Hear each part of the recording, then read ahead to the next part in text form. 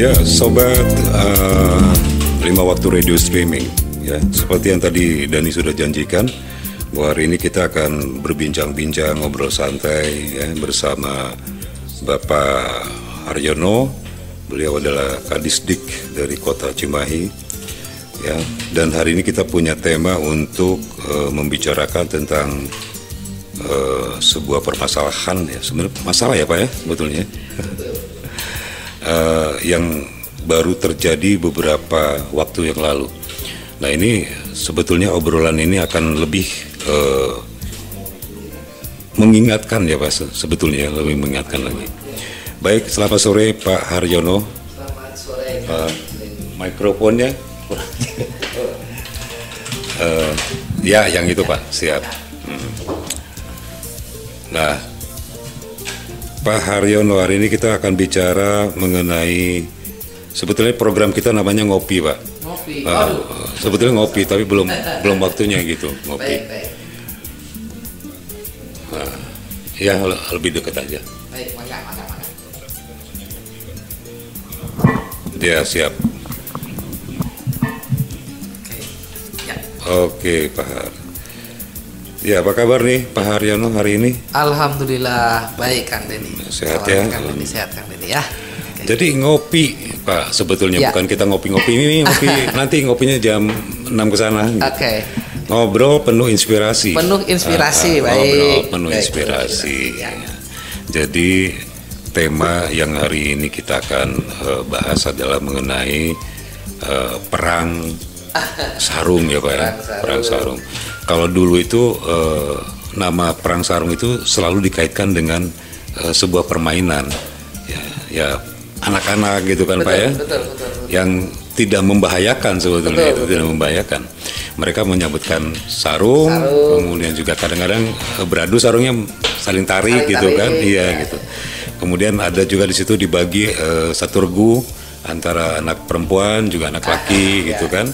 Eh, tapi untuk belakangan ini kita eh, mendengar konteks yang namanya perang sarung yang biasanya dilakukan para remaja saat ini itu lebih mengerikan bahkan menyeramkan ya pak ya Betul, betul. gitu nah di balik sarung itu terdapat yang namanya batu sampai senjata tajam yang dimodifikasi ya Betul, betul. sehingga ini bisa juga melukai pihak lawan Betul. gitu kan nah ironisnya kegiatan ini berlangsung pada momen bulan puasa gitu Ya. Nah, biasanya dilakukan pada mereka habis sahur, Ya. ya.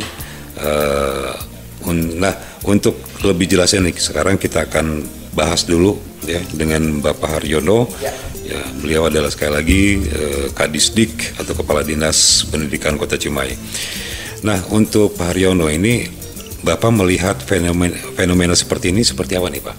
Baik, terima kasih Kang Denny. Jadi kan eh, yang sering disampaikan oleh sebenarnya perang sarung itu bukan tahun ini saja Mm-mm. yang berbahaya itu. Mm-mm. Jadi eh, tahun eh, tahun-tahun sebelum COVID juga di Cimahi eh, pada saat Ramadan itu malam-malam Ramadan itu Hmm. dilaporkan ada beberapa eh, perang sarung yang yang berbeda dengan tadi yang Kang Denny ceritakan tadi Mm-mm.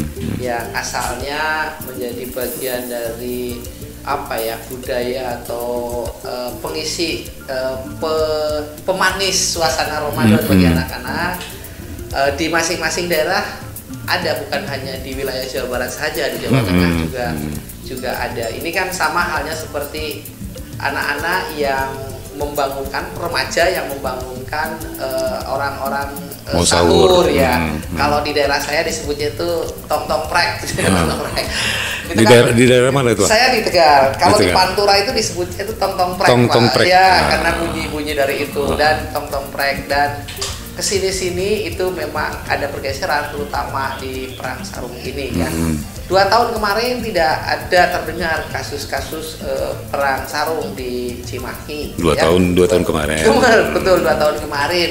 Kebetulan kan COVID. Jadi masa kita harus harus harus didatangkan COVID lagi untuk Untuk berhenti ya. menghentikan perang perang sarung itu kan Ya. tidak tidak tidak lucu gitu. Jadi, Iya. Nah eh, kemarin Pak Kapolres Pak Kapolres merilis uh, informasi Yeah. ke media massa dan kita terima serta beliau uh, menyebarkan edaran. Mhm. Ada dua titik kemarin yang dirazia oleh Pak Kapolres. Oh Cimahi sudah terjadi ya Pak ya? Sudah kemarin, tapi antisipasi ya anak-anak yang bergerombol yang eh, jadi lebih sifat antisipatif eh, belum terjadi perang sarung, Mhm. tapi ada anak-anak yang bergerombol oleh tim eh, Polres Mhm. segera di dibubarkan dan ada yang dibawa diamankan. Itu di Kelurahan Cimahi dan di Kelurahan eh, Melong. Dan memang ditemukan eh, ada yang membawa Membawa sajam. betul dan peralatan untuk perang sarung. Benda Ini keras benda itu. keras. ah. Ini tentu memprihatinkan kita semua. Iya, kan? betul. Jadi, punten. Di satu sisi sebetulnya bagi umat Islam itu kan Ramadan itu adalah ada yang mengatakan kawah candra di muka. Mhm. Tempat untuk menggodok, meningkatkan eh, mulai dari anak-anak sampai dewasa untuk ada yang mau tempat mengumpulkan pahala gitu ya karena Iya. pahala di Ramadan itu berlipat ganda. Ada yang memaknai sebagai eh, kawah candra di muka tempat pendidikan, bulan pendidikan, bulan Iya. tarbiyah. Termasuk bulan mendekatkan eh, apa umat ke masjid dan bersosialisasi karena dimensi Ramadan itu kan dimensinya termasuk ada di dimensi sosial. Iya. Bagaimana orang sholat tarawih didorong bukan di rumah tapi di masjid itu kan ada dimensi kemasyarakatan, Iya. ukuah peningkatan. Nah, anak-anak juga biasanya itu kan Ramadan itu diidentikan dengan ya kayak gitu em, bangun bangunin orang malam Mhm. ceria gitu ya perang sarung dalam konteks tadi yang awalnya hanya Permainan, permainan, hmm, gitu permainan. ya hanya untuk mengisi dan bagian itu menjadi bagian yang membentuk sifat religiusitas seseorang seorang anak Iya. nanti sampai tua nanti ingat oh Ramadan itu gitu ya Iya. bukan hanya soal mencari takjil, buka puasa, tapi ada tarawih, ada keceriaan di tarawih, ada keceriaan di itu dan dan itu membangun, membangun, membangun, membangun dan termemori sampai. Nah sayang banget tahun-tahun ter- sekarang itu bergeser. Betul, betul. Pada saat yang membangunin orang sahur juga terjadi tawuran Ya, pada saat setelah sahur yang biasanya itu juga biasanya kan ada ada ada Ada juga kegiatan, subuh, gitu ya, ah, ada kegiatan kegiatan. subuh, tadarus pulangnya main-main dengan cara Iya. seperti itu gitu ya. Nah ini digeser menjadi tawuran dan bisa saja yang tawuran itu sebetulnya yang tidak melaksanakan hmm, saum gitu ya. Jadi mungkin tidak sahur juga gitu. Iya. Ini yang tapi saya nggak lari ke sana. Intinya ada terjadi pergeseran dan. Dan saya setuju mendukung pihak Polri untuk melakukan tindakan tegas untuk menjadi menjadi pengingat kita Iya. semua. Jadi ketika kemarin Pak eh, pihak Polri membubarkan kemudian katakanlah mengamankan anak-anak yang diduga akan eh, terjadi eh, melakukan perang sarung kemudian diundang orang tuanya oh suruh minta maaf orang tuanya itu kan bagian dari pendidikan dan mengingatkan ke yang lain janganlah punya niat untuk ya. perang Karena mereka masih di bawah umur, gitu kan? mereka masih di bawah umur di bawah perlindungan di bawah perlindungan orang tua juga Iya. dan menindaklanjuti apa yang disampaikan Pak Kapolres kami juga sudah membuat edaran ke sekolah-sekolah SD dan SMP karena yang terlibat itu SD SMP SMA. SD ya, Pak ya? SD ya, Pak ya? anak SD juga Oh, sudah ada sekarang. kemarin kalau yang di yang di Melong dan yang di Cimahi kebetulan Hmm. usianya usia SMP SMA tapi tidak tertutup kemungkinan anak kelas 5 kelas 6 juga Hmm. Eh, biasanya ikut di kegiatan-kegiatan yang membangunkan orang sahur habis itu nanti sa- sa- pulang sahur ke rumah keluar lagi dan seterusnya Ya. itu mungkin kan ini Ya, setelah ada komunikasi, kemudian juga ada koordinasi juga dengan pihak ke kepolisian. Ya, di sini mungkin Polres Cimahi ya, Pak ya. Itu ada nggak rencana untuk membuat sebuah sanksi atau ya seperti itulah gitu. kalau kami itu lembaga kami di dinas pendidikan dan satuan pendidikan itu lembaga yang justru memberi layanan pendidikan Hmm. Jadi bagi anak-anak yang mempunyai permasalahan hukum pun itu harus tetap menjadi eh, apa diberikan layanan pendidikan. Hmm. Jadi kalau sanksi yang dimaksud adalah mengeluarkan anak dari sekolah, sekolah. apa itu tidak akan diberikan Hmm. karena Hmm. eh, justru tugas eh, dinas pendidikan bersama satuan pendidikan adalah memberikan layanan pendidikan.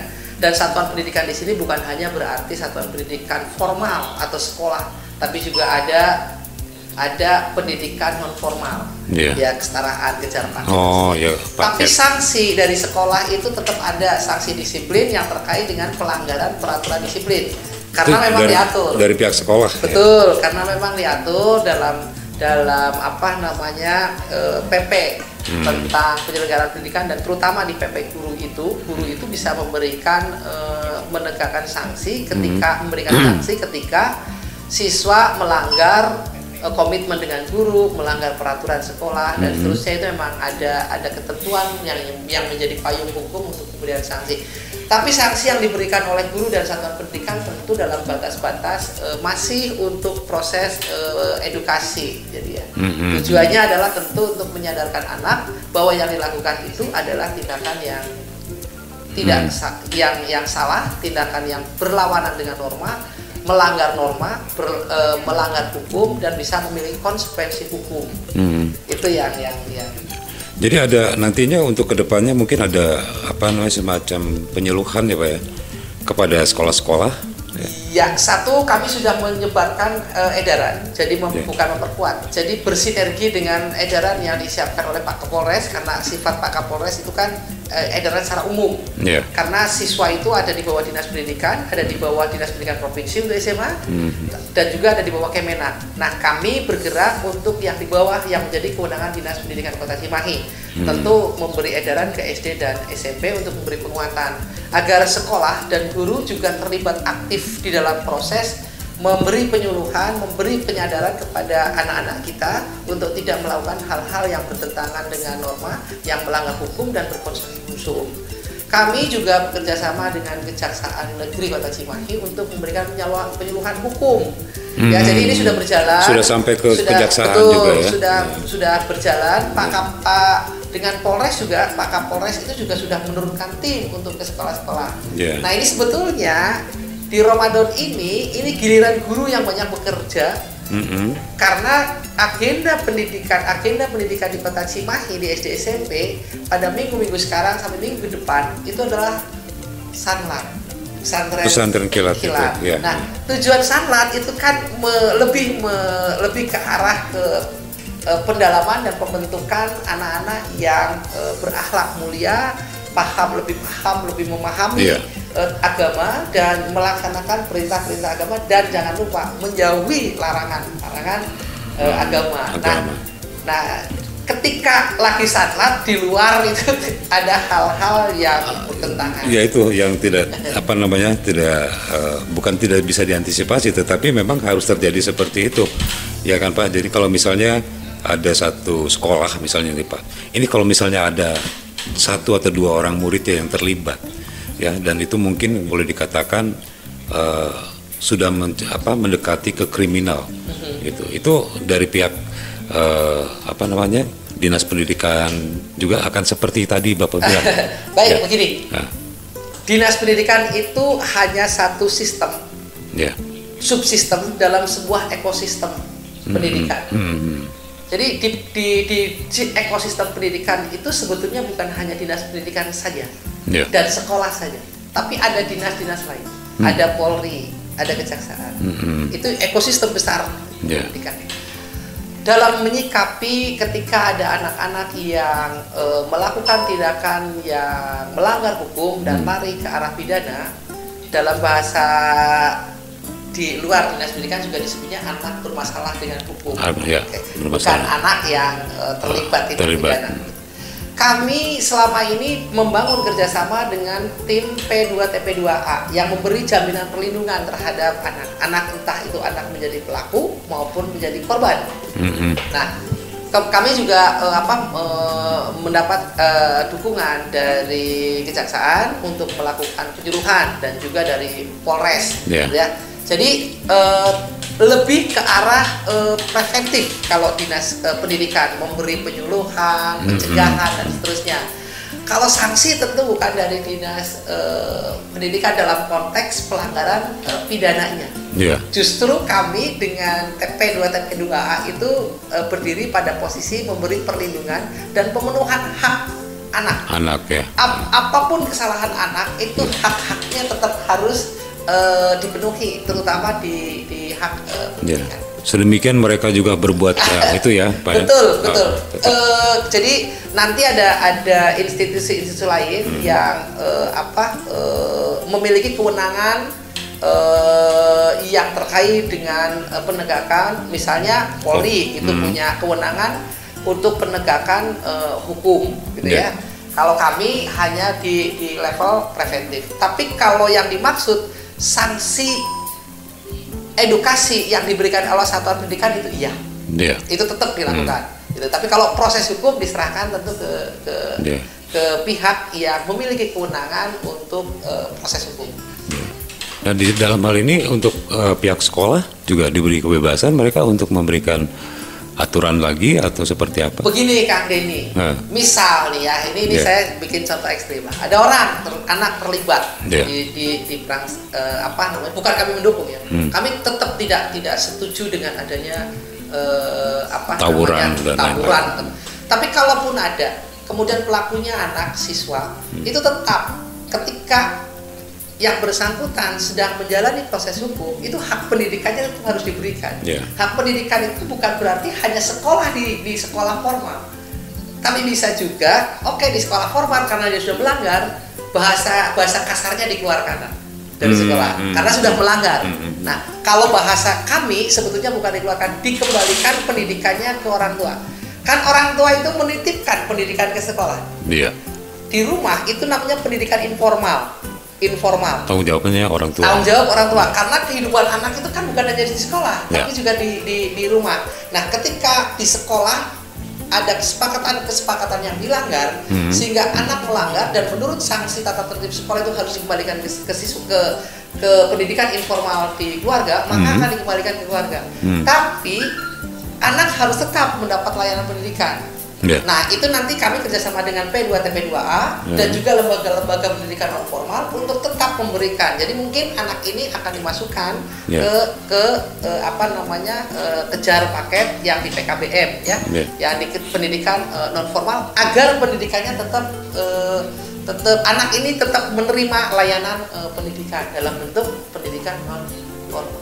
Dan Itu. kami bekerja sama dengan P2TP2A.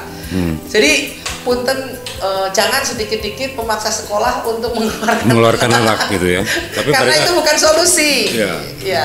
Tapi kalau anak dikembalikan ke Orang tua. tua, ke pendidikan orang Hmm, tua hmm. karena tadi sudah melanggar ketentuan Iya. dan tidak memungkinkan. Misal, ketika anak melakukan tindakan kriminal, kemudian diproses hukum, Iya. kan dia tidak bisa mengikuti pelajaran tatap muka di sekolah. Betul, dia Oh, harus menjalani hukum gitu Iya, kan. dia ya. harus ada di, mohon maaf, misalnya di di di di, di dalam lah. diamankan di, di polisi. Iya. Kan tidak bisa mengikuti Hmm, KBM, masa tetap menjadi siswa? Iya. Kan harus dikembalikan ke orang tua. Nah, sistem pendidikan itu bukan di sekolah, tapi ada dinas pendidikan, ada PKBM, ada dinas-dinas yang lain. Nah, kami biasanya kerjasama dengan P2TP2A untuk memberi pendampingan. Mhm. Nah, nanti tugas kami adalah memberi layanan pendidikan non formal. Misalnya memasukkan kalau berkenan, Mhm. karena hak itu bisa diambil. Bisa juga orang tidak mengambil haknya. Oke. Misal nih, ah saya mah sudah nggak mau sekolah. Iya. Berarti kan dia sudah tidak mengambil hak. Hmm. Tapi kalau yang bersangkutan, Pak, saya salah sudah melanggar hukum, tapi pengen tetap sekolah, nanti dilayani di, di, di PKPM atau pendidikan. Itu bisa seperti itu, Itu bisa. ya. Jadi mereka hak untuk belajarnya pun Ya. mendapatkan pendidikannya pun tetap akan jalan ya, Pak ya. Betul. Oke, eh, Pak Ariano, seperti biasa, kalau kita lagi talk show gini, kita break dulu sebentar. Mangga. Nanti kita kembali lagi. Dan untuk sobat eh, lima waktu radio streaming, jangan ke mana-mana. Nanti kita lanjut kembali selepas Anda dengarkan beberapa yang saya hadirkan untuk Anda semuanya. Baik, sobat lima waktu radio, kita teruskan kembali bincang-bincang kita, obrolan kita bersama eh, Bapak Haryono selaku Kadisdik Kota Cimahi yang sekali lagi kita hari ini membahas mengenai fenomena perang sarung, bukan perang bintang ya Pak, ya? tapi perang sarung. Perang sarung. Uh, jadi kita tadi sudah sampai pembahasan mengenai adanya harus adanya kerjasama dengan pihak-pihak terkait untuk sama-sama uh, mengantisipasi ya Pak ya sebetulnya ya. Betul, betul. Uh, dan kalaupun sudah terjadi akhirnya kita juga harus mempunyai sebuah apa namanya uh, program Pak. Nah dari Bapak sendiri nih ini yang sudah terpikirkan program apa nih untuk mereka-mereka dalam mengisi uh, bulan Ramadan ini ya yang jelas ya karena kondisinya ini saya prihatinnya apa terjadi di bulan Ramadan, Ramadan gitu yang harusnya justru tempat untuk mengembleng Mm-mm. diri dalam eh, lebih memahami eh, ajaran-ajaran agama. Betul. gitu. Jadi termasuk di antaranya anak harus dekat ke masjid, gitu ya. Eh, nah ini eh, kami eh, sebetulnya begini di, di ada kekhawatiran juga. Jadi di SD dan di SMP di Cimahi tahun ini karena alhamdulillah Covid sudah eh, reda lah katakanlah, tinggal dari menuju dari pandemi menuju endemi barangkali ya. Eh, tahun ini mulai kembali diaktifkannya buku Ramadan sebagai panduan bagi anak-anak kita Ya. untuk eh, bukan untuk meriah atau melaporkan Hasil kegiatan ibadah ah. gitu, tapi untuk men- menumbuhkan menjadi kebiasaan. Jadi ada tugas untuk sholat tarawih, eh, mencatat apa namanya eh, Materi yang materi yang disampaikan. disampaikan termasuk eh, apa eh, kuliah subuh, tadarus dan seterusnya ini ada ada di buku dan buku untuk SMP itu eh, dari anggaran BOS sehingga buku bisa dibagikan gratis kepada semua siswa di Cimahi. Nah, kekhawatiran kami adalah ketika Dinas Pendidikan bersama Satuan Pendidikan bersama sekolah itu mencoba eh, mengaktifkan kegiatan-kegiatan untuk mengisi Ramadan Ya. yang bagus, yang positif pasca pandemi Covid, kemudian muncul kekhawatiran orang tua untuk tidak mengizinkan anak-anak ke masjid. Iya, Nah, karena itu takut nanti pulang dari masjid perang sarung, nanti pulang Atau dari salah sasaran gitu salah ya. sasaran, misalnya karena gangguan kamtipmas kemudian tidak mengizinkan anak ikut kuliah subuh karena takut habis subuh dibegal, misalnya Iya. begitu kan. Banyak itu- ketakutan. Nah, banyak ketakutan. Kami ini karena itu kami prihatin Ya. dan harapan kami mudah-mudahan eh, kita bersinergi. Kita tidak hanya mengandalkan Pak Polisi karena Pak Polisi sudah kerja sangat keras, tapi harus kita sadari bahwa jumlahnya mungkin terbatas. Terbatas, betul. Dan perlu didukung oleh partisipasi dari Masyarakat. masyarakat termasuk dari orang tua. Jadi ya mungkin tidak hanya menyuruh anak ikut kuliah subuh di masjid hanya karena tugas dari sekolah, tapi sama-samalah dengan orang Ya, tuanya itu- itu tadi. diantar gitu ya. Ya. Kemudian tarawihnya juga Betul. sama gitu ya. Jangan, jangan orang tuanya di rumah. atau- Jadi termasuk mohon dukungan dan partisipasi dari semua elemen masyarakat ketika ada anak-anak yang mohon maaf misalnya akan akan eh, apa berkumpul setelah sahur eh setelah setelah tarawih kemudian pulang kemudian keluar lagi karena ingin himbauan himbauannya jelas eh, dibatasi lah Iya, ya. betul. Eh, tetapi juga kalau ada yang memang berniat keluar itu kalau ada yang sudah berkerumun tolong dicek kalau bawa bawa hal-hal yang kita tahu misalnya Hmm. di sarungnya ternyata tersembunyi batu tersembunyi besi gitu Iya. dibubarkan gitu ya Eh, dibubarkan oleh warga Eh, ini Pak, ada yang seperti apa kita ketahui bahwa eh, hukuman sosial Pak ya. Mhm. Ini kan lagi ramai seperti ini. Jadi biasanya kalau mereka sudah berbuat seperti itu mereka kita anggap adalah orang yang sudah melakukan Betul. ya, atau pelaku misalnya. Betul, betul. Nah pelaku inilah yang mendapat hukuman sosial itu. Sosial, ya, betul. Nah eh, fenomena seperti ini juga sudah terjadi sekarang ini. Walaupun Ya. misalnya halnya sepele sebetulnya. Tapi kalau kita ngelihat lagi kita sambung-sambungin ya Pak ya, Ya. dengan peristiwa sebelum-sebelumnya Ya. mungkin nggak sih gitu loh itu ada peru- perubahannya tuh memang dari eh, awalnya dari situ tapi Ya. karena ini momennya adalah bulan puasa, Puasa. gitu kan mereka ya manfaatkan situasi seperti ini gitu bisa saja jadi kemungkinan-kemungkinan itu sangat terbuka Terbuka, peluangnya, ya. betul sangat terbuka hanya yang ingin kami garis bawahi begini eh, tentang eh, eh, apa sanksi sosial yang diberikan oleh masyarakat kepada pelaku sehingga eh, pelaku justru bertambah mungkin ya Betul, karena bertambah. kok bus bukannya diterima atau di, di nah kami insya Allah eh, selama ini selalu bekerja sama tadi dengan P2TP2A Iya. di P2TP2 itu ada tim untuk ada tim psikolog yang memberi pendampingan. Jadi kalaupun ada anak yang menjadi korban atau eh, anak remaja yang siswa menjadi pelaku itu tetap akan didampingi oleh P2TP2A dari aspek psikologi. Iya. kemudian pendampingan assessment di assessment. Sampai ya termasuk tadi kalau di, di, diberi sanksi sosial itu akan lebih kuat menerima karena sanksi sosial ini kan susah susah untuk di, di, Dilacaknya di, nih, Pak. dicegah gitu ya. Kita menghimbau mudah. Iya. Jangan beri eh, Jangan ini, jangan nah. kita terima sebagai anak kita, Ah. tapi faktanya orang takut melarang anaknya untuk bergaul dengan anak-anak itu Ah, iya. itu itu itu menjadi hak orang tua juga gitu ya. Betul. Jadi susah. Jadi memberi penguatan intinya eh, dinas pendidikan itu. Kami sih eh, berharap eh, ya kita berdoa dan bekerja mudah-mudahan ini nggak menjadi budaya. Hmm. Perang sarung ini tidak berubah menjadi budaya tahunan bahwa setiap Ramadan itu Pasti perang sahur, Nah. eh perang apa? Perang sarung. Ya, mending Ah. mending didorong misalnya saja eh, mungkin kan diawali dari ini ini kumpul-kumpul untuk buka sahur bersama, kemudian ketemu di jalan Betul. antar kelompok-kelompok, Ah, ah. kemudian jadi perang gitu ya. Iya. Itu mungkin diduel tapi dalam konteks pak bagus-bagus pak kreatif-kreatif membangunkan orang Saula Iya. misalnya festival kalau di di di, di Dibuat beberapa festival tem- gitu ya. dibuat festival bukan festival perang sarung gitu deh Eh, Maksudnya kayak gerbek sahur. Kayak ya seperti Ah. itulah Ah. kira-kira Dan hal-hal yang seperti itulah yang mungkin eh, ya bukan kita sebagai orang tua saja, tetapi masyarakat di sekitar Ya. juga yang bisa eh, ikut mencegah seperti itu. Betul, betul. Tapi terkadang begini Pak, saya men- menjumpai hal-hal yang eh, saya pikir begini. Ini hal yang mudah mungkin bisa diselesaikan oleh eh, orang tua, misalnya seperti itu. Tapi karena mungkin waktu dan juga kesibukan orang tua ya Pak ya, yang bisa menyebabkan hal ini juga muncul. betul Nah, biasanya dari pihak sekolah suka memberi eh, laporan gitu kan Betul. kepada pihak orang tua untuk Betul. menyampaikan bahwa putranya, siswanya ini lagi ada masalah apa di Betul. rumah seperti apa. Betul. Nah, kalau dari Bapak sendiri hal seperti ini apa harus kita terus eh, apa namanya?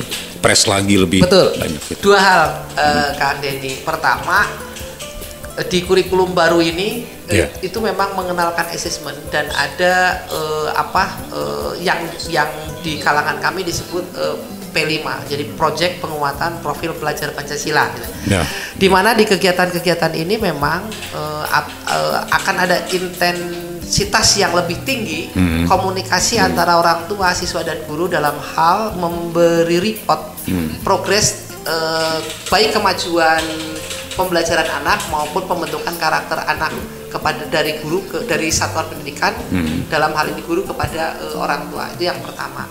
Yang kedua eh, beberapa waktu lalu kami kumpul dengan eh, fe- apa namanya M- MG Musyawarah Guru eh, BP BK Hmm. SMP dan SMA. Nah di musyawarah ini sepakat MGMP itu untuk eh, meningkatkan peran eh, untuk eh, apa pembentukan karakter eh, anak-anak. Jadi Iya. biasanya biasanya Ya. biasanya kan kesannya gini, kalau ada anak bermasalah di sekolah, Hmm. orang tua dipanggil itu kan ke BK gitu ya. itu sudah sudah menjadi trademark gitu ya. Oh, Orang yang dipanggil BK itu adalah eh, Anaknya bermasalah. bermasalah. Nah ke depan mah tidak demikian. Ah, ah. Jadi BK itu bisa memberi konseling terhadap eh, apa? eh, misalnya ada anak bermasalah dalam pembelajaran, bukan hanya bermasalah dalam interaksi dengan Ah, temannya, tapi temannya. pembelajaran juga Ya. nanti dan ada momen-momen tertentu guru BK memang akan berkomunikasi dan me- men-sharekan itu ke ke ke orang tua gitu. Hmm. Dan ada jadi dua hal itu ada kebetulan di kurikulum baru memang memungkinkan untuk peningkatan interaksi yang lebih intensif antara orang tua siswa dengan guru dan guru BK di Cimahi kemarin sudah sepakat untuk l- meningkatkan perannya gitu ya Ya. dalam membentukkan karakter anak. Jadi nanti kita coba hilangkan stigma orang tua yang datang ke sekolah dipanggil BK itu pasti Anaknya bermasalah, iya ya kan? kadang kadang justru mungkin anak yang berprestasi, anak yang ingin membangun karir apa, orang tua dan anak bisa konsultasi ke BK. Dan kemarin kami dorong BK itu untuk bahkan kan menggunakan teknologi ya konsultasi itu Ya. termasuk konsultasi secara virtual. Jadi salah satu apa apa eh, apa eh, eh, li- lesson learning yang kita dapatkan dari COVID-19 itu adalah terbukanya segala macam jalur untuk terjadinya komunikasi antara siswa, orang tua, dan guru. Jadi BK bisa menggunakan saluran-saluran eh, komunikasi yang lebih luas Oke. untuk eh, apa eh, memberi advokasi kepada orang tua tentang anaknya. Bukan hanya tadi persoalan anak bermasalah. bermasalah, Ya. tapi juga mungkin mengalami keterlambatan belajar gitu ya, yeah. atau dia ya uh, galau dengan cita-citanya, mm-hmm. ingin mendapatkan arahan lebih tentang profesi ke depan, mm-hmm. tentang pekerjaan ke depan. Nah, itu diberi layanan semua oleh oleh BK. Gitu kira-kira Kang Dedi. Yeah. Uh, himbauan dari Bapak sebagai Kadisdik Kota Cimahi untuk seluruh uh, siswa-siswi termasuk juga orang tuanya di sini uh, dalam rangka kita menjalankan mengisi bulan Ramadan ini tentunya dengan hal-hal yang positif seperti apa nih Pak? Baik untuk uh, anak-anakku para siswa di SD, SMP maupun SMA Kota Cimahi, mari kita gunakan uh, momentum Ramadan ini untuk uh, apa meningkatkan keimanan dan ketakwaan itu dan juga uh, belajar untuk membentuk uh, karakter, karakter. yang lebih baik kepada orang tua uh, dan masyarakat kami menghimbau bahwa mendidik itu kata Ki Hajar Dewantoro adalah tugas orang tua tugas negara dalam hal ini diwakili oleh sekolah mm -hmm. beserta perangkatnya mulai dinas pendidikan sampai ke sekolah dan juga tugas e, masyarakat kita tidak bisa saling salah menyalahkan Betul. tapi justru kita harus saling memberi dukungan mari kita bersatu padu antara orang tua sekolah dengan masyarakat untuk uh, memberi pendidikan yang terbaik agar anak-anak kita terdepak ke depan itu menjadi anak-anak yang membahagiakan orang tua, membanggakan orang tua, bukan anak-anak yang dibahagiakan oleh orang tua. Iya. Uh, satu hal Pak, mungkin yang perlu juga saya ingin tanyakan, uh, mungkin nggak kalau kita membuat, bukan kita, maksudnya ada nggak sebuah program yang dihususkan uh, untuk orang tua murid nih Pak? Oh, semacam parenting ya? ya? semacam parenting itu. Di semua sekolah sekarang untuk uh, tadi yang saya sebutkan yeah. di P5 itu itu ada momentum uh, parenting yang lebih bagus daripada uh, sebelum-sebelumnya. Yeah. Jadi boleh dicek sekolah-sekolah di Cimahi meskipun masih ada miskonsepsi tentang pelaksanaan P5 di Cimahi saya akui. Mm. Tapi ada satu hal yang menarik adalah semua sekolah semangatnya dalam menyelenggarakan P5 itu adalah melibatkan orang tua. Yeah. Contoh misalnya ketika mengambil tema kewirausahaan anak-anak itu diajari untuk membuat makanan tradisional atau apa mm -hmm. itu dikerjakan di rumah bersama orang tua. Kemudian dipamerkan di sekolah, dijual pada saat penyelenggaraannya, pada saat apa aja ya e, panen karyanya itu orang tua diundang dan menyaksikan. Dan di situ tentu terjadi interaksi seperti kemarin terjadi di SMP 10, eh, yeah. SMP 1, maaf ya SMP SMP 1, SMP mm -hmm. 5 kemudian SMP 4, SMP 7 itu saya lihat orang tua dilibatkan, terutama PGRI juga yeah. ya. Iya. Itu ada keterlibatan orang tua. Di SD saya belum eh kemarin SD Cimahi Mandiri 2 juga sudah panen karya P5 juga melibatkan orang. Jadi yeah. itu kira-kira nanti orang tua akan dilibatkan dalam banyak hal lagi. Yeah. Uh, ini mungkin bagian dari uh, hasil pembelajaran selama COVID kemarin ketika BDR kan anak-anak sudah belajar di rumah dengan orang tua. Iya, yeah, betul. Ya. Yeah. Dan sekarang semangat itu mudah-mudahan tidak kendor gitu ya dengan yeah. pelaksanaan uh, proyek penguatan profil pelajar Pancasila. Itu mungkin Kang Denny. Iya. Yeah. Uh, Pak Haryono sebetulnya kita banyak sekali ya masih ingin ngobrol-ngobrol lagi. Mungkin uh, to be continue. Ini nggak akan selesai Kang. Nggak akan selesai karena yeah. uh, banyak sekali uh, yang ingin kita bahas juga mengenai anak-anak uh, ini. Betul. Terus, Dimensinya luas. Luas ya. sekali karena ada yang mengatakan bahwa sekarang uh, lebih banyak usia-usia mereka ini yang di bawah umur yang melakukan kegiatan apa hal-hal seperti itu. Itu yang membuat kita miris sebetulnya betul. kan. Apalagi kemarin yang di Bogor adalah setelah ah. setelah ditanya mereka acak, acak gitu kan. Betul. Jadi sudah mengerikan lah seperti betul, itu. Betul, betul. Baik Pak Haryono terima kasih banyak sudah hadir di lima waktu radio streaming dan uh, mudah-mudahan juga untuk sobat uh, lima waktu bisa mendengar uh, bisa mendapatkan hal yang positif dari obrolan kita di sore hari ini. Nanti suatu saat kita akan ketemu lagi dengan Pak Aryono tentu dengan uh, masih pembahasan yang terkait dengan uh, pendidikan ataupun juga dengan hal lain. Terima kasih Pak Aryono. Sami-sami Kang Denny, salam hormat untuk seluruh kru uh, lima, waktu, waktu radio, radio streaming. streaming. Ya. Baik, uh, sobat, kita akan kembali lagi nanti selepas beberapa yang saya persembahkan.